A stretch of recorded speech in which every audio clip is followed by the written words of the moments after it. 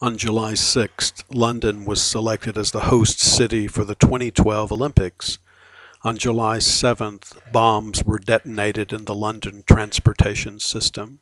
Pornography, a play by British playwright Simon Stephens, takes a look inside the lives of eight Londoners on the eve of the London tube bombings.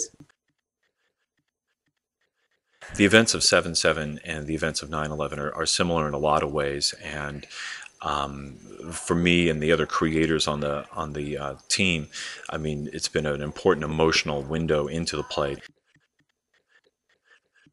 The, the play uses the events of 7 7 7 as a way to investigate these larger issues. Like the playwright says, he, he thinks we live in pornographic times, and there's this uh, commercialization and alienation and this, this kind of exploitation of people's emotional experience that we're seeing in in all of Western culture right now. And so I think I think the big question of this play is what kind of world have we created for ourselves and, and where is our humanity in this world?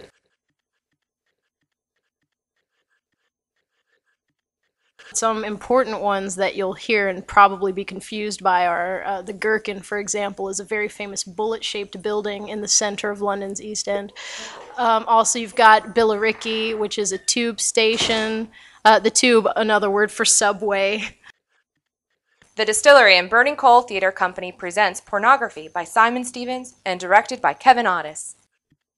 Get the inside tweet with stage manager Andy Hayworth. Follow us on Twitter at Distillery THTR Hatchback under the stage manager's table.